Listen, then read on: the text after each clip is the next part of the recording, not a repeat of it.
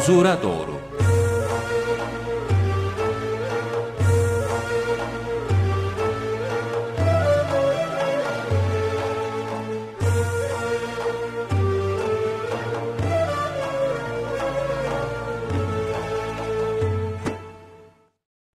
Merhaba sevgili izleyicilerimiz. Yeni bir programla daha sizlerle birlikteyiz. Her zaman olduğu gibi Osman Ünlü hocamız var yanımızda. Yine kendisiyle sohbet edeceğiz ve sizlerin merak ettiği konulardan birini daha soracağız. Hocam e, tabi zaman zaman İslam alimlerinden, ehl sünnet alimlerinden ve evliyalardan e, menkıbeler de anlatıyorsunuz, örnekler de veriyorsunuz. Bunların en büyük faydası tabi onlar iyi insanlar oldukları için iyi insan nasıl oluyormuş onu öğrenmiş oluyoruz. Yani bunlar çok faydalı oluyor o konuda. Şimdi e, onların hepsinde hemen hemen olan başka bir özellik daha var. O da e, Allahü Teala'nın takdir etmiş olduğuna razı olmak. Yani Allahü Teala ne takdir ettiyse ben ona razıyım. Kendi rızamı veya işte kendi isteklerimi onun isteklerine, rızasına uydururum diye düşünüyor. Buna göre hareket ediyorlar yani. Şimdi e, onu sormak istiyorum. Yani iyi bir kul olmanın alametidir e, denebilir mi? E, Allahü Teala'nın rızasına uygun hareket etmek. Şimdi evliyadan bizzat e, evlenmemiş, bekar.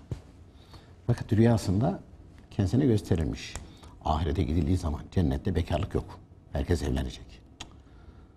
Tabi bu da bilgi olarak biliyor, meraklanmış. Demiş dünyada evlenemedim. Ama ahirette eğer Cenab-ı Hak beni cennetten cennete koyarsa cennette bana orada arkadaş olacak, hanım olacak kim ki falan diye rüyasında gösterilmiş. Yeri de söylenmiş, ismi de söylenmiş. Bu da kalkmış. Arka arkasına üç defa tekrar kalkmış gitmiş oraya. E, diyorlar ki böyle aa diyorlar delinin teki işte keçi otlatıyor, koyun şey yapıyor falan yerde işte yayla var. Orada dağda tepede işte falan delinin teki falan diyorlar. Vallahi Allah. Oraya gidiyor. Kadıncağız tabii rüzgar, güneş falan, yüzü yanmış, eli yanmış falan, hayvanlar bakıyor falan. Daha uzaktan gelirken e, kadıncağız şöyle bakmış, ey filan hoş geldin demiş. Hmm, tanımış. Tanımış. Demiş, biz daha önce görüşmedik, nereden biliyorsun beni? Ezelde ruhumuz yaratıldığı zaman tanıyorduk, Rabbim bildirdi diyor. Şimdi bakıyor kadıncağıza, hayvanları daha otlatıyor, getiriyor, ondan sonra namazlarını kılıyor. Onun dışında bir başka bir ibadet yok, zikir mikir yok. Akşam zaten yoruluyor hayvanlar şey yas yıkılıp yatıyor. Sabah namazını namazını kılıyor hayvanlar gibi tekrar dağa gidiyor. Bir gün, iki gün, üç gün falan. Diyor ki ya sen ibadet olarak ne yapıyorsun yani? Cennet hak edecek yani. Yani cennet hak edecek. Ne yaptın ki sen? Ne yaptın ki sen? Ben diyor cahil birisiyim işte diyor burada. Gördüğün gibi diyor başka bir şey yok işte. Ramazan ayında orucumu tutarım, beş vakit namazı kılarım. Ona ilave edip bir şey yapamam diyor. Keçilerime bakarım. Keçilerime bakarım falan. O sana hayret ediyor. Allah Allah falan derken tam oradan ayrılacak artık. Ayrılacak. Kadıncağız böyle dağın yamacındaymış. Ey falan diyor. Bilmem diyor işine yarar mı? allah Teala beni burada yaratmış. Bu halde yaratmış. Herkes beni hakir görüyor. Bu hayvanlar aynı şekilde otlatıyorum. O çileyi, o sıkıntıyı çekmiyor, çekiyorum. Bir gün olsun ben de şehirde, kasabada şöyle zengin, şatafatlı, villalı, saraylı, köşklü bir ailenin kızı veya gelini olmayı hatırımdan hiç geçirmedim. Rabbime hiç itiraz etmedim. Gönlümden hiçbir zaman Rabbimin bu şekilde benim için takdir ettiğine itiraz fikri bile geçmedi. Bilmem diyor işine yarar mı bu? Diyor ki ne diyorsun sen? Bütün mesele bu zaten. ne diyorsun sen? 20 sene, 30 sene bir dergahta veyahut da bir medresede bunu elde etmek için uğraşıyor insanlar. Hiç diyor Rabbim beni başka yer verseydi başka yere hiç gönlümden geçirmedim diyor. Allah-u Teala takdirine razı olmak. Rıza. Hatta bir hadise anlatır. Süfyan-ı Sevri Hazretleri zamanın alimleriyle beraber oturuyormuş. Yanlarına Vüheyb bin Vert Hazretleri gelmiş. Orada e, işte Vüheyb bin Vert Hazretlerine siz Allah-u Teala'ya kavuşmak için hemen ölmeyi mi yahut daha fazla ibadet edebilmek için daha çok yaşamayı mı yoksa hiçbir şey düşünmeden Allah-u Teala'nın takdirine razı olup susmayı mı tercih edersiniz? Diye bir sual arz ederler. Vüheyb bin Vert Hazretleri de ben hiçbir şey demem. allah Teala benim hakkımda neyi irade edip takdir etmişse ben onu isterim. Onu severim, ve ondan razı olurum buyurdu. Süfyan-ı Sevri Hazretleri kalkıyor alnından öpüyor. En doğrusu, en doğrusu bu diye. allah Teala'nın takdirine itiraz etmemek. allah Teala. Zaten eee Seyyid Ahmet Rıfai Hazretleri nefse allah Teala'nın kaza ve kaderine rıza göstermek kadar zor gelen bir şey yoktur. E, zamanımızda çok. Bir şey. Benim gibi adama, benim gibi kadına, benim gibi delikanlıya, benim gibi makam sahibine, benim gibi meşhur olana diye başlamıyor muyuz? Benim gibi. Nesin yani? Hint kumaşı mısın? Altıncı netice itibariyle, altıncı netice itibariyle işte altını ıslatan bir çocuktun. Yaşlanınca da altını ıslatıyorsun sonra çekip gidiyorsun. Konacağın yerde belli yani. Konacağı yerde belli. Toprağa gir- gireceksin yani. Allah rahmet eylesin şeyde hatırlarsın Enver abiler e, böyle toplantılarda falan bir şey söylerlerdi. Doğduğu zaman e, işte Kundak. kundak, bezine, öldüğü zaman da kefen bezine sarılan bir varlık. İkisi iki bez arasında. İki bez arası. iki bez arasında adam sanıyoruz. Evet kendimizi adam sanıyoruz. Ama bu büyüklerin hali beni yaratan o diyor. Ne itirazım olacak ki? Böyle dilemiş. Yahşi diyor. İtirazım yok. İtirazım yok. Hatta e, Rabia Adviye Hazretleri henüz çocuk yaştayken anne babasını kaybeder. Üstelik Basra'da kıtlık, fevkalade pahalılık vardır. Bu hengamete Hazreti Rabia'nın ablalar çeşitli yerlere dağılır giderler. Kimsesiz kalan Hazreti Rabia'yı zalim bir kimse yakalar, hizmetçi olarak işe, iş gördürür. Sonra da köle olarak altı gümüş karşılığı bir ihtiyara satar. O ihtiyarın hizmetçisi olarak gösterilen zor işleri sabırla yapmaya çalışır. Çok sıkıntılı günler geçirir, çok zahmetler çeker. Fakat hiç isyan etmez. Allah-u Teala'nın takdirine razı olur. Edebi hayası çok fazla olduğu için karşısına çıkan bir yabancıdan sakınayım derken düşer ve kolu kırılır. Aciz ve kırıklık içinde mahzun olmuş bir kalp ile Allah Teala'ya Ya Rabbi garip, kimsesiz, yetim ve öksüzüm. Köle edildim. Bir de kolum kırıldı. Lakin ben bunların hiçbirine üzülmüyor. Yalnız senin rızanı istiyorum. Benden razı olup olmadığını da bilmiyorum diyerek yalvarır. Bu sırada bir ses duyulur. Üzülme. Sen ahirette meleklerin bile imreneceği bir makamda bulunacaksın. Tabii. Tabii. Tabii. Yine Rabia Yadvi Hazretleri bir kulun Allah Teala'nın takdirine razı olup olmadığı nasıl bilinir diye soruyorlar. Buyuruyor ki gelen nimetlerden zevk aldığı gibi gelen musibetlerden de zevk aldığı zaman anlaşılır buyruluyor. Benim gibi adama bu yapılır mı demiyor. Ben buna layık değildim. Ben bunları yapacak veyahut da bunlara aynı şekilde düşecek ne yaptım ki demiyor. Allah Teala'nın ezeldeki takdiri neyse o. Abdülaziz Eldirini Hazretleri eğer kadere Allah Teala'nın hükmüne rıza gösterirseniz şerefli bir hayat yaşarsınız. Yok. imkansız bir şeyin olmasını ümit ederseniz ümidinizi tehlikeli bir şey üzerine bina etmiş, kurmuş olursunuz buyuruyorlar. E, Dolayısıyla e, dolayısıyla allah Teala'nın takdirine rıza göstermekten başka çaresi yok insanların. Dolayısıyla Ebu e, Osman Mağribi Hazretleri bir şey buyuruyor. Güzel ahlak Allahu Teala'nın takdirine razı olmaktır buyuruyor. Güzel ahlak Allahu Teala'nın takdirine razı olmaktır. Bir de e, İmam Rabbani Kutusu Hazretleri bir şey buyuruyor. Tabii hepsi güzel de o daha böyle yani bizim bu zamanda anlayacağımız bir şekilde buyuruyor ki bir kimsenin bir kimsenin sabahleyin evine çıktığı zaman karşılaştığı şeyleri aradığı, istediği, arzu ettiği şeyler olarak bilmedikçe ve görmedikçe bu kimse Allah Teala rızasına kavuşamaz buyuruyor. Kötü şeylerde mi? Kötü şeylerde. Çıktın sabahleyin birisi sana sövüyor. Çıkıyorum. Baktın ki arabanın camları kırılmış. Çıktım ayağım bir şey aldı düştüm. Düştün. Veya düştün. Veya birisi çelme taktı düştün. Aha ben bunu bekliyordum demek lazım o zaman değil mi? Diyebilen Diyebilen. Çünkü öyle buyuruyor. Sabahleyin evden çıktığınız zaman karşılaştığınız şeyleri, aradığınız, istediğiniz, arzu ettiğiniz şeyleri. Hani meşhurdur zaman zaman aynı şekilde TGRT FM'deki İslam ve Toplum programında da anlatıyoruz, naklediyoruz daha doğrusu. E, evliyadan bir zat e, bir şehirden geçiyormuş. Orada bir kabadayı var. Böyle yeni tıraş olmuş, ensesi açık olanları görünce tokat vururmuş. Hoşuna gidermiş o. E, bu zat da yeni tıraş olmuş. Tabii önüne e, eğmiş başını ensesi gözüküyor. E, bu onu görünce gitmiş dayanmış bir tane vurmuş. Vurunca o zat şöyle bakmış. içi ikilmiş o kabadayının falan. Neyse o zat yolla devam etmiş. Hiçbir şey dememiş ama. Hemen birisi koşarak gelmiş. Ya demiş niye vurdun? Demiş ya ne oldu? Ya demiş evliyadan bir zat. Ya demiş bakış zaten içimi titretti demiş. Ya ben ne yapmışım? Koşuyor demiş efendim. Çok özür dilerim. Benim gibi hastalık. Kötü bir huy. Böyle ensesi açık olanları görünce dayanamıyorum vuruyorum. Ne olur hakkınızı helal edin. Elini ayağına kapanıyor. Tutuyor kaldırıyor. Efendim kalk falan. Ben diyor hakkımı helal ettim. Ama diyor öyle baktınız ki içim titredi. Niye öyle baktınız? Şimdi gönderen allah Teala. Sana vurdurma iznini veren de allah Teala. Hangi vasıtayı kullandı diye baktım buyuruyor. Hangi vasıtayı kullandı diye baktım. Senin gibi adam bana laf söyleyebilecek birisi midir falan filan demiyorlar. Yani senin gibi birisi bana var. Demiyorlar. Niye? İyi biliyorlar ki onlar sebebe değil, sebebe bakıyor. O sebebi yaratan, o sebebi güç kuvvet verene. Mesela bir şey dikkat çekmişti. Ehl-i sünnet alimleri yazıyorlar, anlatıyorlar. Ateşin kendisi de yakma özelliği yok buyuruyor. Hatta bu Tamil Nasadeti Beli kitabında Hüseyin Hilmi Efendi rahmetullahi teala aleyh de almışlar onu. Kendisinde yok. Ona yakma gücünü veren allah Teala'dır. Eğer ateş kendisi yakma gücüne sahip olsaydı İbrahim Aleyhisselam yakardı buyuruyor. Ama yakmadı. Yakamadı ama. E, do- Dolayısıyla ona yakma özelliğini veren de yine Cenab-ı Hak. Bütün mahlukat da öyle.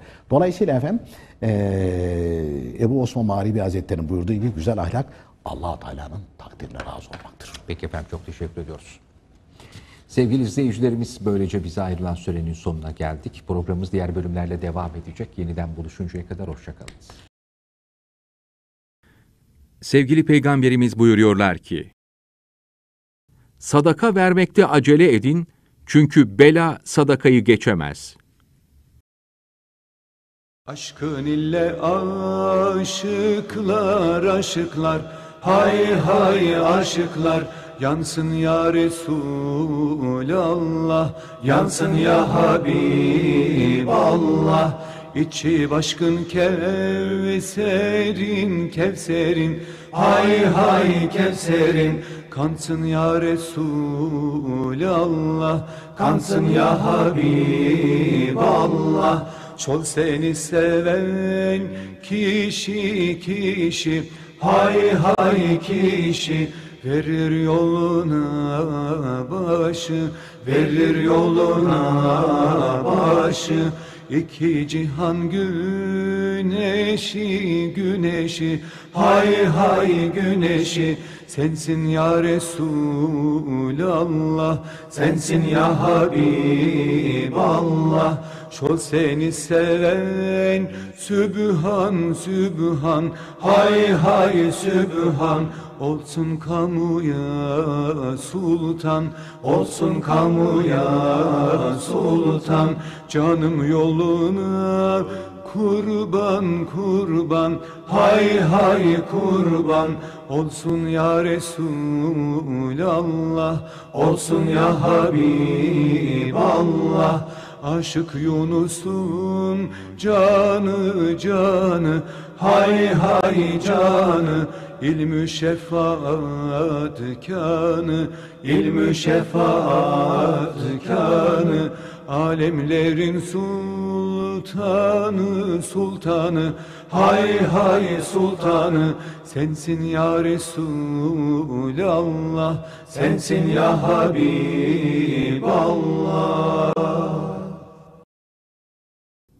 Tam ilmihal, saadeti ebediye.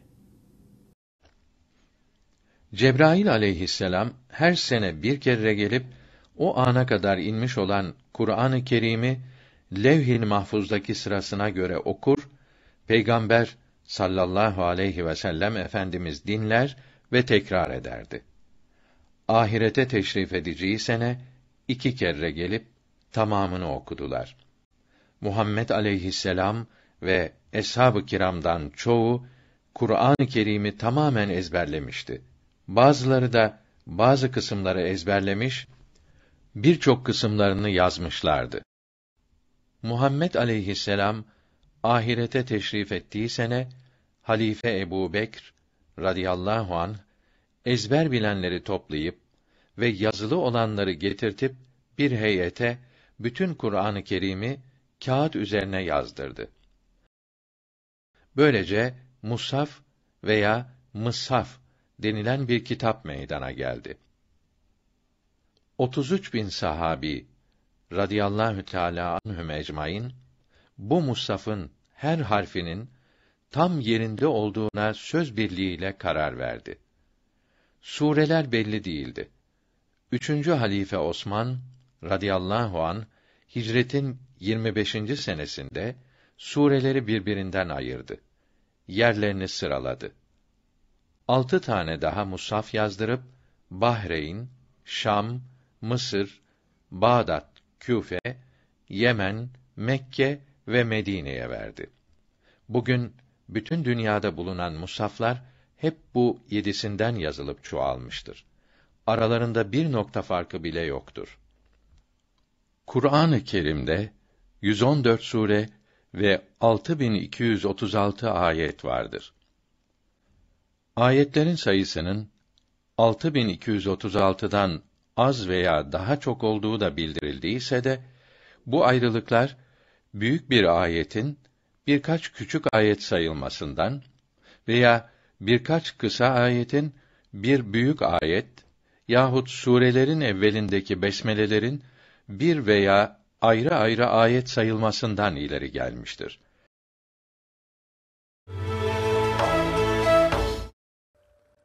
Ömer bin Abdülaziz bazı sevdikleriyle bir gün bir cenazeyi gitmişti defnetmeye. Defin işi bitip de herkes ayrıldığında o birkaç kişiyle durdu kabir yanında. Dediler ki: "Efendim, siz ne için kaldınız? Cenaze sizin değil. Niçin ayrılmadınız?" Buyurdu: "Kardeşlerim, tam gideceğim zaman kabir bana seslenip şöyle dedi arkamdan: Ya Ömer, sormuyorsun ne yaptım dostlarına? Diyeyim de haber ver geri kalanlarına. İlk önce ben onların yırttım kefenlerini. Sonra da parça parça yaptım bedenlerini. Kan ve irinlerini içtim kabre inince. Etlerini kemikten ayırdım ince ince. Ömer bin Abdülaziz söylerken bu sözleri kederinden yaş ile doldu iki gözleri. Cemaat kendisini dinliyordu öylece. Dedi, kabir sözüne devam etti şöylece. Nerede sizden önce dünyada yaşayanlar? Nerede bu dünyaya sımsıkı sarılanlar? Hani uzun emeller, hayaller kurmuşlardı. Hiç ölmeyecekmiş gibi ona sarılmışlardı. Ölümü düşünmeyip durmadan mal yığdılar. Ölenleri görüp de hiç ibret almadılar. Onların servetine herkes gıpta ederdi. Biz dahi onlar gibi zengin olsak derlerdi. Hani şimdi ne oldu o servet ve mallara? Bir anda ayrılarak girdiler mezarlara. Kara toprak altında çürüyüp toz oldular. Yedi bedenlerini haşereler ve kurtlar. Ömer bin Abdülaziz bu sözleri kabirden dinleyip gözyaşları boşandı gözlerinden. Kabir devam ederek seslendi ki: Ya Ömer, bir gün bu kabristana yolun düşerse eğer, sor o zenginlere ki ne kaldı o varlıktan? Sor o fakirlere de ne kaldı o darlıktan? Ne oldu dilinize? Niçin susuyorsunuz? Ne oldu gözleriniz? Göremiyor musunuz? Sor onlara, ne oldu o yumuşak tenleri? Ne oldu dimdik duran kuvvetli bedenleri? Bir çukurun kurtları neler yaptı onlara? Sor ki, yem mi oldular böcek ile kurtlara? Halbuki bir vakitler yaşıyordu her biri. Var idi her birinin güzel, şirin evleri. Bu dünyaya aldanıp haramlara daldılar. Ahireti unutup hazırlık yapmadılar. Fakat ölüm onları yakaladı bir anda, şimdi de yatıyorlar hepsi mezarlarında. Şevahidin Nübüvve Peygamberlik müjdeleri Resulullah'ın sallallahu aleyhi ve sellem annesi Amine Hatun şöyle anlatmıştır. O Hazretin yani Muhammed aleyhisselamın doğacağı sırada evde yalnız idim. Abdülmuttalip Beytullah'ı tavaf etmeye gitmişti. Abdullah dört ay önce Medine'de vefat etmişti ve orada defnedilmişti. Evin tavanı tarafından büyük bir şey indiğini hissettim ve beni korku kapladı. Bir ak kuşun kanadıyla beni sıvazladığını hissettim ve korkum dağıldı. Sonra bana süt gibi beyaz bir şerbet verdiler. Çok susamıştım. Aldım, bu şerbeti içtim. Uzun boylu, küçük yüzlü hatunlar gördüm. Abdümenaf'ın kızlarına benziyorlardı. Etrafımda duruyorlardı. Gökten yere kadar uzanmış beyaz ipekten bir örtü gördüm. Birisinin onu insanların gözünden gizliyoruz dediğini işittim. Bir bölük kuşlar gördüm ki gagaları zümrütten, kanatları yakuttan idi. O sırada gözümden perde kaldırıldı. Doğudan batıya kadar yeryüzünü gördüm. Biri doğuda, biri batıda, biri de Kâbe'nin damı üzerinde üç alem, sancak gördüm. Sonra çok hatunlar gelip çevremde oturdular. Muhammed aleyhisselam doğar doğmaz başını secdeye koydu. Parmağını semaya kaldırdı. Sonra bir bulut indi ve onu kaldırıp götürdü. Baktım, yerde göremedim. Gözden kaybolmuştu. Sonra Muhammed'i bütün alemde dolaştırınız. Bütün mahlukat onu ismiyle, suretiyle ve sıfatıyla tanısın bilsin diye bir ses işittim. O bulut bir anda onu geri getirdi. Onu beyaz bir yün içine sarmışlardı. Sardıkları kundak sütten ak, ipekten yumuşak idi. Yine bir bulut geldi. Öncekinden büyük idi. Bulutun arasında at kişnemeleri işitiyordum. Şöyle bir ses duyuyordum. Muhammed'i sallallahu aleyhi ve sellem bütün insanlara, cinnilere ve hayvanlara gösterdiler. Ona Adem'in saffetini, Nuh'un rikkatini, İbrahim'in hulletini, İsmail'in lisanını, Yusuf'un cemalini, Yakub'un besaretini, Eyyub'un sabrını, Yahya'nın zühdünü ve İsa'nın keremini aleyhimüsselatu vesselam verdik. Sonra bulut bir anda açıldı. Abdülmuttalib'in kızı Safiye Hatun şöyle anlatmıştır. Muhammed'in sallallahu aleyhi ve sellem doğduğu sırada Amine'nin ebesiydim. Muhammed'in sallallahu aleyhi ve sellem nuru lambanın ışığını bastırıyordu. O gece altı alamet gördüm. Birincisi doğar doğmaz secde etti. İkincisi başını kaldırıp fasih bir lisanla la ilahe illallah inni rasulullah dedi. Üçüncüsü onun nuruyla ev çok aydınlandı. Dördüncüsü doğduktan sonra yıkamak istediğimde zahmet etme biz onu yıkadık diye bir ses işittim.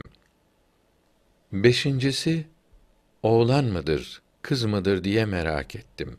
Göbeği kesilmiş ve sünnet edilmiş gördüm. Altıncısı istedim ki onu kundağa sarayım.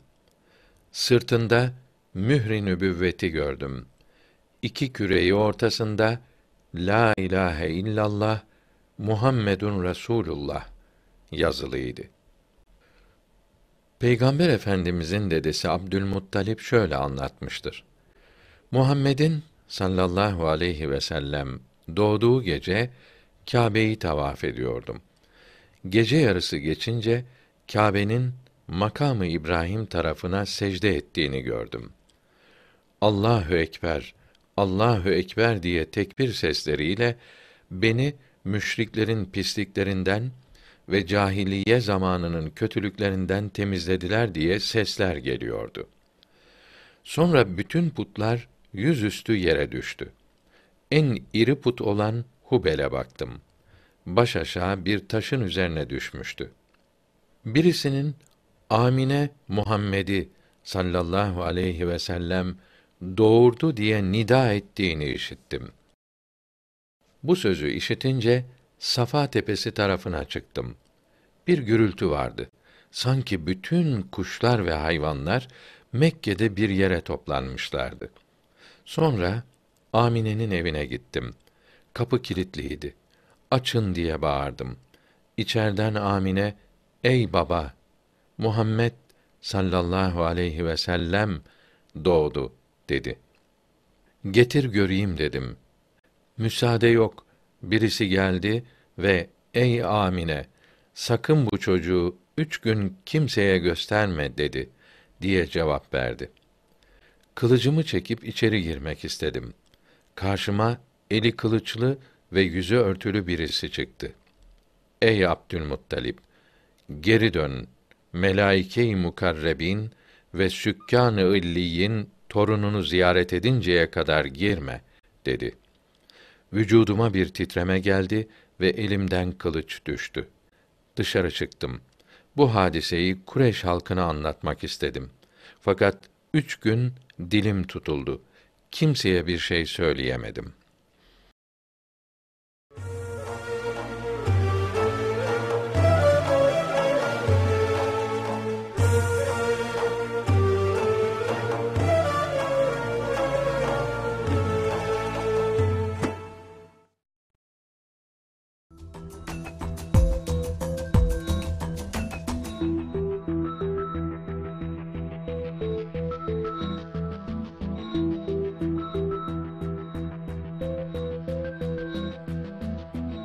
Merhaba kıymetli seyircilerim. Bugün de sizlere Yeşil Bursa'mızın yine yemyeşil olan İznik ilçesinden sesleniyorum. İznik'teki Nilüfer Hatun imareti var. Şu anda da İznik Müzesi olarak Kültür ve Turizm Bakanlığımıza bağlı İznik Müzesi olarak görev yapan bir yapının önündeyim. Yani bahçesindeyim. Tabi bu bahçe şimdi e, arkeolojik kazılar neticesinde yer altından çıkan İslam öncesi e, birçok eserler getirilmiş. Burada sergileniyor. Onların sergilendiği alan şeklinde bu bahçe. Tabi bahçesi bu kadar değildi. Yeşil Camii'ye çok yakın. 100 metre mesafede. Kutbettin Camii ile arası 20 metre yok. 10-12 metre. Ve bir üçgen teşkil etmiş. E, bu da imareti. Burada bir de hamamı var. Yani tam insanların gelen garip kuraba dahil hayatını sürdürebileceği yemek yiyecek yeri var. Temizliğini yapacak hamamı var. Efendim ibadetini yapacak camii var. Neyi noksan? Bir de medresesi olması lazımdı. İhtimal ki burada bir medresede vardı. Ama o medreseyi şimdi yerini de izini de bilemiyoruz. Tıpkı Yenişehir'deki Koca Sinan Paşa'nın veya Yenişehir'in ifadesiyle Kurşunlu Külliyesi'nin imaretinin bir farklı boyutu burası. Nilüfer Hatun imareti. E, o tabii sonraları yapılmış. Orada da medrese imarete yakın bir alanda hanla beraber ihtimal ki burada bir kervansarayda olması lazım. Niye olması lazım? Çünkü sur çıkışına yakın bir bölgedeyiz. Dolayısıyla şehre gelen kervanların emniyetli bir şekilde geceyi geçirmesi için bir de kervansaray olması lazım. Göl kıyısında bir kervansaray kalıntısı var ama o İstanbul kapı tarafında. E peki bu taraf ne olacak? Lefke kapısı tarafı yani Osmaneli kapısı deniyor. Onun bir adına da. Oradan gelen kervanlarda bütün şehri cangıl cungul develer geçip göl kıyısına gidecek halleri yok. İznik'in o günkü nüfusuna göre tabii bir kervansaray mantıken yetmezdi. Zaten İznik'te bu imaretin yapıldığı devirlerde 7 civarında imaret, yine 7 civarında medrese olduğu bazı kayıtlarda görülüyor. Her halükarda yaptıranlara Allah rahmet eylesin diyoruz. E, onlara biz ruhlarına Fatiha göndermekten ve teşekkür etmekten başka da bir şey yapamıyoruz. İyi ki bu insanlar bu eserleri yaptırmışlar. Bugüne kadar intikal etmiş. 1921-22'lerde Yunan'ın yaktığı yerlerden birisi de burasıdır. Yine musallat olmuşlar böyle bir hayır kurumuna. Ya cami değil, türbe değil. Daha ne istiyorsunuz? Olsun. Osmanlı'nın eseri ya. Osmanlı yazan bir şey görseler o yazıyı çiğneyecekler neredeyse öç almak için. Ne öcünü alıyorsunuz? Siz bir Yunan milleti olarak 300 sene 400 sene Osmanlı'nın emrinde yaşamış ve kimliğinizi koruyabilmişsiniz, dininizi, imanınızı koruyabilmişsiniz kendinize göre. Yani örf adetinizi koruyabilmişsiniz. Peki sizi kesen bir millet olsaydı ona ne yapacaktınız? Sizin hayatta kalmanıza sebep olan, çoğalmanıza sebep olan devlete bu kadar e, ve onun e, mensuplarına, insanlarına düşmanlığınız, kininiz var. Ya bir de sizleri kesseydi siz ortada kalmayacaktınız. İşte Osmanlı'nın hoşgörüsü ve neticesi de karşılığı da o hoşgörüden istifade edenler tarafından tam ters olarak veriliyor. Nilüfer Hatun imaretinde günlük 2000 kişiye yemek verildiği yazıyor bazı yerlerde. Bu imaret diğer imaretlerden farklı olarak gördüklerimizden bir husus arz ediyor. Aynı zamanda ibadethane olarak da bir kısmı kullanılmış. Zaten girişinde baktığımız zaman tarihi camilerin girişindeki son cemaat yeri aynen mevcut. Fakat hangi kısmında kılınırdı? İçeriye girdiğimiz zaman da görüyoruz ki kanatlı camilerden gibi bir plan var. Kanatlı camiler 2. Beyazıt Han zamanına kadar yapıldı. Ancak onun oğlu Yavuz Sultan Selim Han'ın efendim yaptırdığı daha doğrusu Yavuz Sultan Selim Han'ın türbesi için Kanuni'nin yaptırdığı ki sanki Yavuz Sultan Selim Han başlamış gibi de bir ifadeler var. Ee, Fatih'teki Sultan Selim Camii'nde o da kanatlı camilerdendir. Efendim Bayezid Camii Sultan II. Beyazıt'ın yaptırdığı Bayezid Meydanı'ndaki o da kanatlı camilerdendir. Daha sonra kanatlı camiler yani tabhaneli camiler modeli değişikliğe uğramıştır. Bu ilk zamanlarda yapılanlardandır ve Osmanlı'nın ilk kanatlı camileri modelindedir. Bu İnegöl'de de efendim Yenişehir'de de bu tip cami örneklerine bu bölgede rastlıyoruz. Demek ki Osmanlı'nın ilk yıllarını yaşadığı, merkez olarak bulunduğu bu İnegöl, Yenişehir, İznik gibi yerlerdeki yapılar Selçuklu tesirinde kalarak Selçuklu'daki kanatlı camiler, tabhaneli camiler, tavhaneli camilerden olabilir. Öyle bir model gösteriyor. Ama ortadaki alana gittiğinizde bir cami harimi gibi değil, bir mutfağın aydınlık fenerli olan çok büyük, dehşetli bir kubbesiyle karşı karşıya kalıyorsunuz. Bu konuda kayıtlarda da fazla bilgi olmadığı için ben mecburen bazı benzetmeler yapıyorum. Beni seyircilerim bağışlarlar inşallah. Ve oralardan da akıl yürütmeyle bir yere varmaya çalışıyorum. Bahçesinde şu ön kısmında işte Roma dönemi, Bizans dönemine ait, hatta Roma'dan önceki dönemlere ait de üzerleri heykellerle dolu, kabartmalarla dolu büyük lahitler var. Tabii bu bir Antakya lahidiyle kıyaslanacak büyüklükte değil buradakiler. O çok daha büyük 2,5'a 2,80 gibi ebattaydı. Buradakiler 2 metre civarında yükseklikleri de işte 1,5'u biraz geçe 1,75 gibi olan lahitlerden 8-10 tane konmuş. Bunlar hakkında benim e, derinlemesine bir bilgim yok.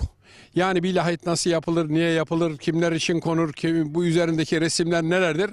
Bunların tabii uzmanı o devrin e, işleriyle uğraşan kimseler olsa gerek. Dolayısıyla ben sadece Osmanlı ve biraz onun önündeki Selçuklu ile ilgili daha ziyade hayır hasenat için yapılmış yapıları anlatmaya çalışıyorum. Tabi bu da diyeceksiniz kabir. Kabir ama o ayrı bir dinin şey olduğu için onların inancına göre böyle yapılan lahitler ne manaya gelir? Doğrusu bilmiyorum. Bundan dolayı da bağışlanmamı istirham ediyorum. Şimdi buradan biz müzenin bahçesini şöyle bir tura tamamlayalım. Ondan sonra müzenin içerisine girelim diyorum. Müzenin ön yüzünün tam tersinde yani kıbleye doğru dönersek eğer şöyle yüzümüzü sağ tarafında burası da sol tarafı oluyor. E, kıble olması için yani bunun içinde ibadethane olması için e, sol duvarlardan birinde mihrap olması lazım. Araştırdık öyle bir mihrap da ben göremedim. Vardı belki sıvayla kapatıldı onu da bilmiyorum. E, sağ tarafında Osmanlı dönemine ait tarihi mezar taşları bir yere toplanmış. Niye toplanmış? Orası kabirler değil. Çünkü burası müze. Müze demek tarihi eşyanın bulundukları yerlerde değil, böyle müze adı altındaki yerlerde toplanarak insanların e, görmesine, onlara teşhirine yarayan yer demektir zaten. Yani topluca bilgi verilen yerdir. Bunların her biri bir dağdan gelmiştir. Bu lahitlerde. E oralarda dursa dağ başında başına bir türlü iş gelir. Bu mezar taşları da muhtelif yerlerde, inşaatlarda çıkan taşlardır. Onlar getirilip buraya muhafaza altına alınmıştır. Bu İznik Müzesi'nde de yine içerisinde de bazı tarihi eserlerin sadece kitabeleri muhafaza edilmektedir. Diyeceksiniz ki kitabe yapı duruyor mu? Duruyor. Niye orada değil? E, Yunanlı kasaturayla sökmeye kalkmış, kazmayla sökmeye kalkmış. Ondan sonra da götürememiş, vazgeçmiş herhalde veya düşürmüş veya unutmuş. İznik Müzesi'ne muhafazaya alınmış. Şimdi biz Osmanlı mezar taşları olan bölümü şöyle bir görelim. O günün mezar taşlarını efendim. İznik Nilüfer Hatun imaretinin giriş kapısının tam tersi istikametindeyiz yani arkasındayız. Orada muhtelif yerlerden gelen e, Osmanlı daha doğrusu Müslüman mezar taşları diyeyim ben taşlarının bulunduğu bölgedeyiz. Bunlar bir mezarlık değil burası. Nedir peki? İşte biraz önce arz ettiğim gibi muhtelif yerlerden ele geçen taşlar buralarda devletçe Kültür Turizm Bakanlığımızın e, emrinde güzelce bir muhafazaya alınmış. Şimdi buraya bir levha konmuş. Tabi e, bu levhada diyor ki Çinicibaşı Mustafa Usta'nın mezar taşıdır. Bu yazı olmadığına göre bu tarafında çok silinmiş bir yazı var. Baş taşı da denebilir ama çok silinmiş. Yani harfler kaymış gitmiş. Osmanlıca yazıyor. Çinici başı demek, kaşici başı demek. Veya kaşici de deniyor sadece başı denmiyor. O baş demektir. Efendim. Desenler, Çin'i desenleri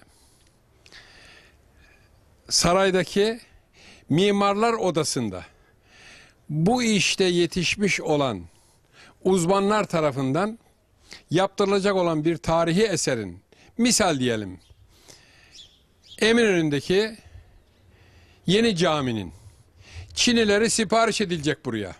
1669'larda bitti efendim o da. İşte tam İznik Çin, Çinlerinin şaşalı, şahane döneminde yapılmış. Orada desenler e, tarif üzere tam bir desen çizilmiyor belki ama adları konarak orada tespit ediliyor. Padişahın bir fermanı ile İznik kadısına gönderiliyor. İznik kadısı veya kadisi dersek daha rahat anlaşılır. Çünkü ne harfi gelince kadının deyince hanımın mı yoksa kadı efendinin mi olduğu karışıveriyor. Ya kadı efendi lafını kullanacağız orada. O da kaşici veya kaşici başını çağırarak filan yere şu desende çiniler yapılacaktır diyor şu ebatta. Çünkü ebat da orada önemliydi. Bazen e, küçük ebat, büyük ebat da istenebiliyordu. Yuvarlak istenebiliyordu. Kavisli yani. Onlar da hangi ustalarına bunu yaptırabileceklerse ona göre bir iş dağıtımı, iş bölümü yapıyorlardı. İznik çinicileri içerisinde ve böylece Çini desenleri çiziliyordu. Mustafa Usta işte 1680'lerde yani 4. Mehmet Han zamanında yaşamış olan bir kaşici veya kaşici başı imiş. Allah rahmet eylesin. Biz burada taşını bularak kendisine Fatiha'mızı gönderdik. Şurada daha ziyade Bizans dönemine ait veya ondan önceki döneme ait yer altından çıkmış olan bir kabir küçük sandukası var. Bu tarafı kırılmış. Daha uzun muydu, gidiyor muydu onu da bilmiyoruz. Üzerinde Osmanlıca hurufat var. Fakat biz bunu okuyamadık. Bir, e, bizim alışkın olduğumuz Osmanlıca hurufata da tam benzemiyor. Biz bunu Mardin'de de gördük. Mardin'de bir kilisenin avlusuna girdiğimizde ben evvela yanlış yere mi girdik veya bu taşlar Müslüman mezar taşlarından mı getirilmiş diye şaşırdım. Duvarlarda çünkü aynı bu şekilde Osmanlıca yani Arap harfleri diyorlar ya şimdi efendim. Ee, Osmanlıca hurufat var. Ee, sonra papaza dedim bu ne? Biz bu harfleri kullanıyoruz dedi. Ee, bizde böyle bir mezar taşı usulü yok. Mezar sandukası usulü yok. Bu yanlardan bu çıkıntılar pek alışılmış değil. Selçuklu'da da yok buna benzer. Selçuklu'da boydan boya mermer bir sanduka boyunca böyle sivrilikleri yok. Üzerinde de bazı ayet kelimeler oluyor.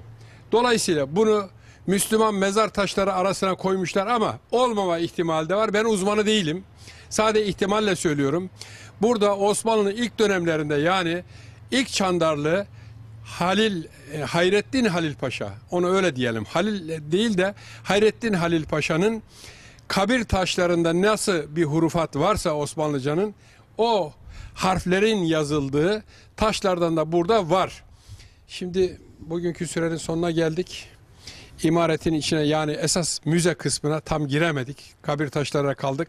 Bir de bu avluda eskiden kalma e, çörtenler var. O çörtenler de sizlere göstermek istiyorum. Yani dama konup da damda biriken yağmur sularını aşağıya duvara değmeyecek şekilde binanın temeline su vermeyecek şekilde e, daha uzağa e, gönderen oluklar, su olukları var. Tarihi onları sizlere göstereceğim. Sonra da müzenin içine gireceğim. Ama bugün değil. Bugün bitti. Hoşçakalınız.